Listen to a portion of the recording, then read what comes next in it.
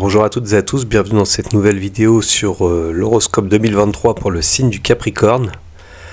Donc je vais parler des trois décans. Alors le premier décan sont les natifs nés du 22 décembre au 1er janvier en moyenne, donc euh, selon les années, donc ça peut être un jour avant, un jour après. Les natifs du deuxième décan sont les personnes nées entre le 1er janvier et le 11 janvier. Et les natifs du troisième décan sont les personnes nées entre le 11 janvier et le 20 janvier. Donc je rappelle que c'est un horoscope solaire, donc ça veut dire qu'il est plutôt général. Euh, il ne remplace pas un horoscope personnalisé avec votre date, heure et lieu de naissance, qui permet d'établir des prévisions astrologiques euh, bah, personnalisées, plus précises. Quoi. Donc là je base que par rapport à la position du Soleil en Capricorne et non aux autres planètes qui peuvent être dans votre thème. Donc je vais commencer par les natifs premiers décans. Alors, euh, les natifs premiers décans, donc euh, vous aurez le soleil, votre soleil en Capricorne qui sera en carré à Jupiter en bélier en début d'année, hein, donc du 1er janvier au 20 février. Alors euh, bah, cela procure, si vous voulez, un peu d'excès, un peu de, trop d'enthousiasme. Vous pouvez peut-être vous être trop dans l'assurance, être un peu trop orgueilleux, vaniteux avec euh, voilà, un côté un peu trop suffisant par rapport à des actions à mettre en place. Donc c'est vrai que là, euh, vous pouvez être euh, boosté hein, en même temps, mais c'est vrai que c'est vrai que ça peut donner un, côté un peu trop expansif, un peu trop en confiance qui peut faire de l'exagération. Hein. donc il y a un côté un peu comme ça qui est à essayer de, de revoir un peu vos prétentions donc c'est pas forcément mauvais en soi, mais bon, faire attention. Alors ça peut jouer aussi sur euh, le côté cardiaque, dans le côté santé, dans le pire des cas, mais sinon, euh, voilà, c'est plus au niveau psychologique, un carré de, enfin un aspect qui est euh, dissonant dans le sens qui fait gonfler le moi, gonfler l'ego. Donc beaucoup d'assurance, beaucoup de choses qu'on veut mettre en place. Ensuite, vous aurez le sextile à votre planète Saturne en poisson à partir du 7 mars 2023. Alors là, en revanche, c'est plutôt plutôt positif hein, pour mettre en place des actions euh, concrètes, durables, donc comme vous, les, aimez les faire euh, de manière, euh, on va dire, procédurier, hein, assez structurée. Donc là, ça va vous aider. Donc c'est une bonne période, si vous voulez, pour établir des choses durables, de manière sérieuse dans le travail. Alors ça peut être aussi au niveau relationnel, dans vos amours. Il peut y avoir une relation avec le père ou l'homme, voilà, en général, qui peut aider voilà, dans ce sens, amener plus de sérieux, de structure. Donc ensuite, vous aurez le trigone à Jupiter en taureau du 17 mai au 5 juillet et du 17 novembre au 31 décembre. Donc là, c'est positif aussi pour euh, l'épanouissement. Alors, il peut y avoir une croissance au niveau matériel, professionnel, voire euh, euh, financière, pourquoi pas. En taureau, mais pas que, ça peut aussi tomber dans d'autres domaines de vie selon votre thème, forcément. Hein ça concernera certaines maisons de votre thème. Donc ça se répercute deux fois dans l'année, hein, mai, juillet et novembre, décembre.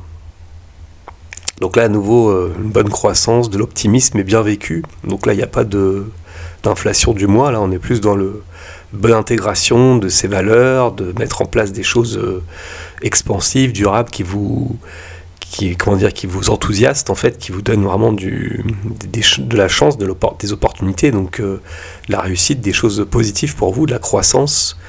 Donc là, c'est vrai que c'est une période où vous vous sentirez bien, épanoui, bien au basket, donc c'est vraiment euh, une période à saisir.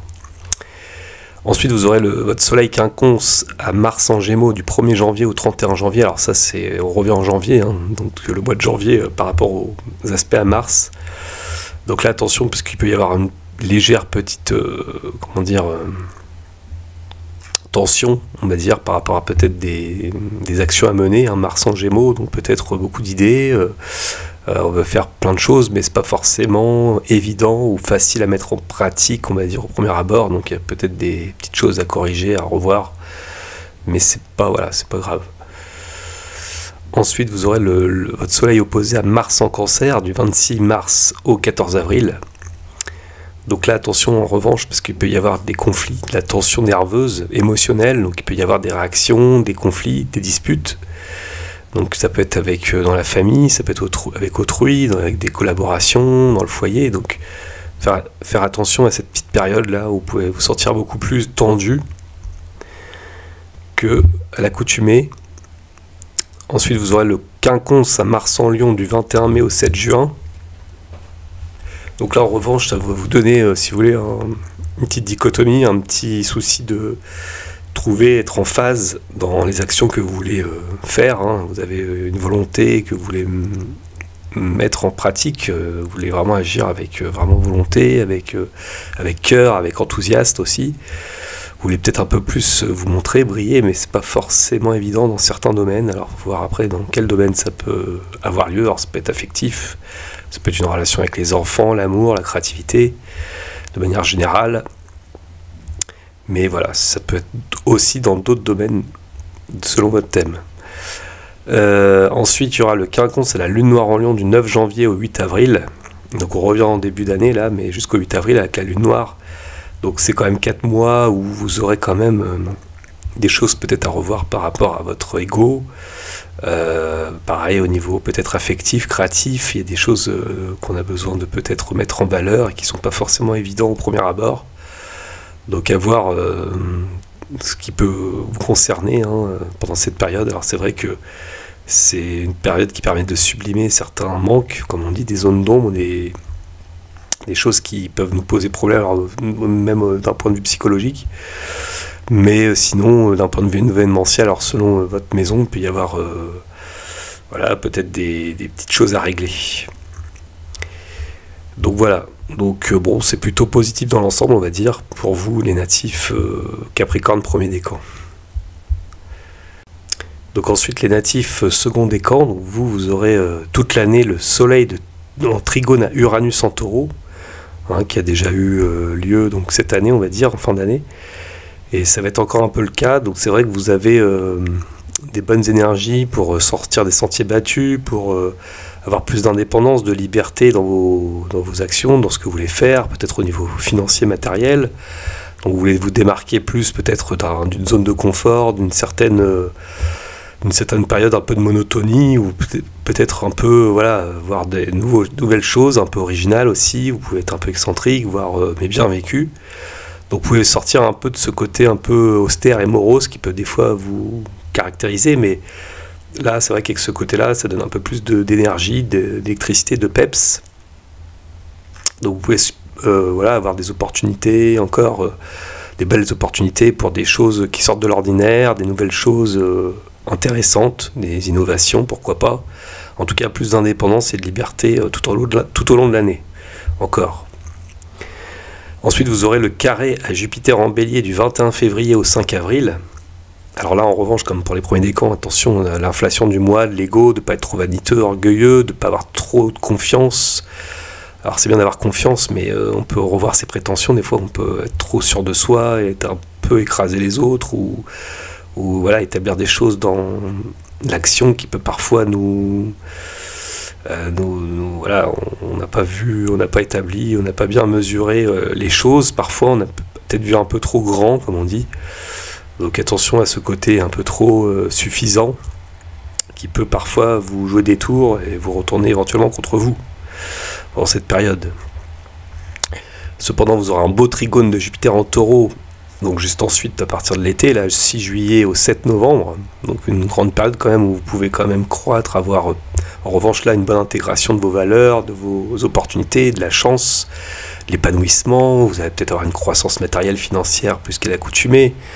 Euh, ça peut tomber aussi dans, selon votre thème dans d'autres domaines. Hein. Si c'est dans le domaine familial, bah, il y a des opportunités, de la, euh, joie en famille, à, la maison. Euh, euh, voilà, pour des questions euh, peut-être immobilières aussi. Alors ça peut aussi tomber par, dans le secteur des amours, peut-être une grande période euh, positive au niveau affectif. Vous pouvez vraiment avoir de la chance, jouir de plein, plein de plaisirs, plein de choses qui vous comblent, on va dire. Donc en tout cas, voilà, une très bonne période là pour vous sentir bien, épanoui. Ensuite, on revient au mois de mars, donc euh, on va, enfin au mois de janvier avec la planète Mars. Donc là, euh, du 31 janvier au 4 mars, vous aurez votre Soleil quinconce à Mars en Gémeaux. Donc là, euh, attention, donc ce premier trimestre, surtout à la fin du mois de janvier, là un peu de tension, on va dire peut-être dans l'air, avec peut-être plein de choses à faire à la fois, un peu de, vous voulez mettre en pratique peut-être vos, vos idées, vos voilà, il y a plein de choses que vous pourrez mettre en place qui peuvent un peu peut-être vous irriter. Alors ça peut donner lieu à peut-être des petites, des petites disputes éventuellement ou de la tension dans l'air, mais c'est pas méchant. Mais voilà, peut-être affairé à faire plein de choses à la fois, donc à vous de ménager un peu votre énergie, vos, voilà, vos, votre agressivité éventuelle. Surtout qu'ensuite vous aurez l'opposition de Mars en cancer à partir du 15 avril au 3 mai. Donc là, attention, parce qu'il peut y avoir des disputes, pouvoir agir assez euh, vindicativement, émotionnellement. Euh, ça peut être des disputes avec un, patron, un homme, un père, une figure paternelle ou une figure euh, masculine. Vous pouvez vous sentir en révolte, un peu en tension, alors peut-être dans la famille ou autre, selon votre thème, encore une fois. Donc il peut y avoir vraiment des tensions voilà, familiales sans doute, hein, ou émotionnelles en tout cas, qui vont vous agacer, qui peuvent vous énerver.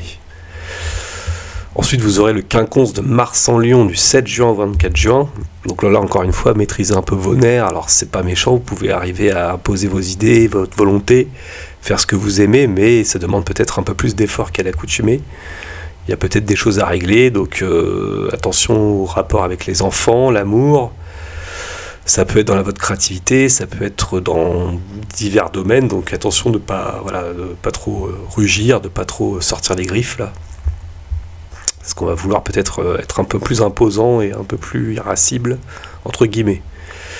Le carré acquis en toute l'année aussi ne vous aide pas trop pour euh, soigner des blessures. Vous pouvez sentir des blessures un peu toute l'année selon ce qui peut être dit, ce qui peut être fait. Il peut y avoir un, une résistance là par rapport à votre ego, par rapport à votre volonté, qui peut euh, parfois faire amener des réactions envers autrui qui parfois ne vous plaisent pas. Donc c'est encore une période un peu délicate, on va dire, mais c'est pas méchant. Alors après, vous pouvez aussi, par votre volonté, créer des blessures. Donc euh, c'est pas forcément grave, hein, mais c'est vrai que c'est latent en fait par rapport à certaines actions, certaines euh, peut-être mots, certains, certaines franchises qui peuvent euh, parfois ne pas plaire. Donc à voir après, selon votre thème bien entendu. Et enfin, le quinconce à la lune noire en Lyon du 8 avril au 7 juillet vous permet de comment dire d'arriver à sublimer un, manque de confiance peut-être pour valoriser un certain ego, une image, euh, est-ce qu'il n'y a pas un petit léger euh, problème au niveau affectif qu'il faut régler peut-être à cette période? Donc à voir un peu qu'est-ce qui peut un peu vous caractériser, qu'est-ce qui peut vous manquer. Donc ça peut jouer aussi sur euh, le domaine affectif avec la relation aux enfants ou bien créatif. Donc il y a peut-être quelque chose à revoir entre guillemets. Alors c'est pas pas méchant.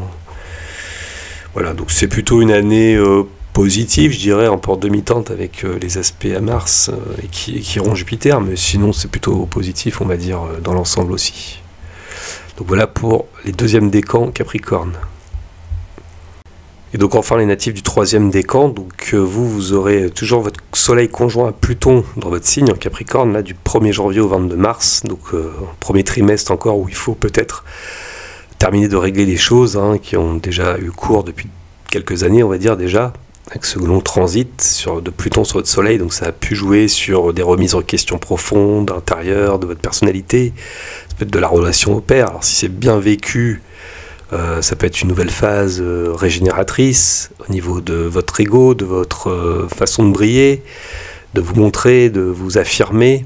Donc vous avez pu peut-être avoir aussi une bonne relation avec le père, avec un homme, un patron ou une figure d'autorité. En revanche, c'est plutôt une, conjonction avec des aspects dissonants dans votre thème. Euh, c'est plutôt une période de remise en question assez difficile, douloureuse, qui peut être assez destructrice dans le pire des cas, où il faut revoir certaines, euh, certaines valeurs, certaines choses. donc oui, par des, des profondes remises en question de vous-même, par rapport à voilà, l'image de l'homme, du père, du mari, éventuellement. Euh, donc voilà, c'est pas forcément une, un aspect les plus faciles. Donc il peut y avoir vraiment, dans le pire des cas, un problème de santé éventuellement assez important. Euh, mais sinon, voilà, ça dépend encore une fois du thème de chacun, bien sûr, mais euh, de manière générale, il peut y avoir quand même des choses à revoir et à nettoyer et à terminer, on va dire, comme pour terminer un cycle qui aura lieu donc cette année et voire encore un peu l'année prochaine, car il faut savoir que Pluton va revenir une dernière fois dans le Capricorne en 2024 avant de s'établir euh, définitivement dans le signe suivant verso. Donc vous serez, on va dire, libéré de, tous ces profonds changements, euh, voire de ces difficultés si vous les avez eues euh, l'année prochaine plutôt. Voilà. Ensuite, vous avez quand même un bon aspect de Neptune en poisson, hein, sextile à votre soleil toute l'année. Donc ça c'est positif, hein, vraiment bien pour l'intuition, tout ce qui aura pas avec l'impalpable, le rêve, les idéaux, si vous avez euh, vraiment du flair pour euh, tel ou tel domaine, ça peut être dans le domaine affectif, professionnel. Encore une fois, j'ai pas votre thème, donc ça faut voir dans quelle maison ça peut tomber. Hein. Mais c'est vrai que ça donne quand même beaucoup de, comment dire, de, ouais, d'intuition, d'idéal. Vous pouvez vraiment vous sentir porté par un courant là, neptunien. Ou euh, voilà, l'osmose est là pour faire des rêves importants, peut-être sentir que vous faites partie d'un tout, d'être beaucoup plus euh, réceptif qu'à l'accoutumée. Euh, donc ça peut être bien pour euh, le côté artistique aussi, musical, le côté voilà intuitif. Donc voilà, d'une manière générale, faites jouer votre intuition, hein, ça va vraiment vous aider tout au long de l'année. Ensuite, vous avez le carré de Jupiter en bélier votre soleil du 5 avril au 16 mai. Donc, comme pour les deux autres décans, cette période-là, euh, pour vous, là, sera un peu plus délicate sur le plan euh, de la croissance de la chance. Alors, c'est pas que vous n'avez pas de chance, vous pouvez avoir de la chance, mais vous peut-être trop, trop donner d'importance sur certaines choses. Et attention de pas trop être trop, trop. Alors, c'est bien de l'être, mais de pas être trop suffisant, arrogant par rapport à une certaine réussite, par exemple. Vous pouvez voir trop en grand, être trop confiant, euh, et après, bah, on peut revoir un peu ses idéaux. Hein. s'est un peu, on s'est un peu laissé trop porter. Ça peut donner un côté dépensier dans le pire des cas, un peu trop euh, m'as-tu vu. Euh, donc ça peut aussi agacer. Donc ça peut créer aussi des tensions vers autrui, hein, éventuellement avec une image paternelle, avec un homme aussi. éventuellement, il peut y avoir un éloignement avec Jupiter. En tout cas, les actions que vous mènerez seront peut-être profitables, mais attention de pas trop euh, en faire trop, en fait. C'est ça, c'est une énergie qui déborde. Et on ne mesure pas toujours les actions euh, qu'on peut mener, les conséquences en tout cas. Alors ensuite, euh, le trigone à Uranus en taureau du 29 mai au 10 décembre va vous aider sur le point, d'un point de vue, on va dire, de liberté, d'indépendance, d'originalité. Vous pouvez être inventif, vous pouvez avoir aussi euh, comment dire, un côté où vous voulez démarquer, hein, vous voulez sortir de votre zone de confort, de, saisir des nouvelles opportunités, euh, sortir des sentiers battus, pardon, donc changer de, un peu de mode de vie, euh, vous pouvez vous sentir un peu plus différent de la norme, original, donc ça peut vous aider sur vraiment d'un point de vue relationnel aussi, alors ça peut être une croissance aussi économique, enfin il peut y avoir des nouvelles choses qui vous tombent à ce niveau-là selon votre thème, encore une fois, mais voilà, il peut y avoir des choses euh, intéressantes euh, faut, auxquelles il faudra s'adapter, euh, qui va vous aider à, amener peut-être une nouvelle personnalité aussi sur vous-même et envers les autres qui peuvent surprendre, pourquoi pas, mais dans le bon sens du terme. Donc saisissez les nouvelles opportunités qui peuvent s'ouvrir à vous, en tout cas même si elles sortent un peu du cadre, on va dire, traditionnel. Ensuite, vous aurez le quinconce de Mars en Gémeaux du 4 mars au 25 mars. Donc là, en revanche, attention à peut-être à une certaine tension. On peut avoir des idées qui fourmillent de toutes parts. On peut être à droite, à gauche. Euh, attention aussi au volant, éventuellement dans les déplacements. On peut être un peu, euh, un peu, un peu sur, le, sur les nerfs, un peu trop vif, un peu. Euh, agir un peu, un peu inconséquemment, donc faire un peu attention. Alors c'est pas trop grave, hein, c'est un quinconce, donc vous pouvez facilement le surmonter. Donc ça peut donner dans le pire des cas des petites disputes, mais c'est pas méchant, quoi. Ça peut être des petites, euh, des petites mésententes éventuelles, quoi, pendant ce mois de mars. Ensuite, en revanche, attention à l'opposition de Mars en cancer du 3 mai au 20 mai. Donc le mois de mai un peu plus tendu, là, cette fois, où vous pouvez peut-être vous sentir un peu plus euh, agressif, avoir des réactions émotionnelles assez vives. Donc attention de pas trop, euh, voilà, de pas trop réagir de manière vindicative agressive euh, par rapport à des choses qui peuvent vous toucher. Alors ça peut être dans le domaine euh, familial, du foyer, mais pas que, hein, selon votre thème. En tout cas, en cancer, ça peut signifier cela. En tout cas, au niveau émotionnel, vous serez peut-être un peu plus perturbé, un peu plus touché, donc ça peut jouer sur vos rapports avec euh, soit la relation mari à l'homme, au père, C'est votre ego qui est touché, donc on peut réagir un peu plus agressivement. Donc faire attention à ce moment-là. Le quinconce ensuite de votre soleil à Mars en Lion du 24 juin au 10 juillet euh, va vous donner une certaine énergie pour imposer euh, certaines idées, certaines choses. Vous voudrez agir avec plus de volonté, de euh, voilà, d'assurance. Mais par contre, ça peut créer des petites tensions ou des petites difficultés où on ne peut pas forcément agir comme on voudrait. Donc ça donne lieu à des, des choses à revoir un peu, mais c'est pas voilà, insurmontable. Donc vous pouvez facilement faire ce qui vous sied. Alors attention de pas de bien mesurer vos, vos, comment dire, vos prétentions face à d'autres, parce que ça peut créer des petites rivalités, voire des petites tensions ou des désaccords. Donc voilà. Enfin, donc vous aurez votre soleil opposé à la lune noire en cancer euh, la première semaine de janvier, donc du 1er janvier au 8 janvier. Donc là, il peut y avoir des choses à revoir au niveau familial. Euh, il peut y avoir un manque là à ce niveau-là, un côté un peu nostalgique. Euh, vous pouvez vous sentir un peu avec une, une sorte de manque. Euh, voilà, il peut y avoir un peu un, vide là. Euh, euh, il y a des choses qui peuvent revenir à la surface. alors ça peut être par rapport à des choses du passé, de la famille, d'une histoire qui a, pu avoir lieu avec un homme, pourquoi pas, un, ancien amoureux ou comment dire, un homme, un mari, une figure parentale importante. Donc il y a des choses qui peuvent un peu nous, nous plomber entre guillemets, mais c'est passager. Voilà, c'est un petit côté un peu de coup de blues comme on dit souvent. Ensuite, vous aurez le quinconce de votre soleil à la lune noire en lion du 8 avril au 7 juillet. Donc là, encore une fois, il peut y avoir un peu un manque, mais là, c'est plus dans le domaine affectif. Euh, il peut y avoir quelque chose euh, où on veut peut-être un peu plus sublimer sa, créativité, euh, peut-être des choses à régler au niveau affectif, créatif, peut-être au, pire des cas une relation aussi avec les enfants, pourquoi pas. Et dans votre thème, ça peut tomber aussi dans d'autres domaines. Donc forcément, voilà, faut voir, mais c'est pas très important. Voilà, c'est un petit quinconce qui permet de réajuster certaines choses euh, via euh, des pratiques qui peuvent nous combler en créativité, euh, comment dire, relations intellectuelles, échanges, etc. Et enfin, le carré hérissant bélier toute l'année à votre soleil peut donner une division. Alors ça, ça peut créer, si vous voulez, un côté un peu euh, compliqué, on va dire, par rapport à trouver un sens dans ses actions où, ça ne divise pas, on va dire, une communauté, des relations, des collaborations.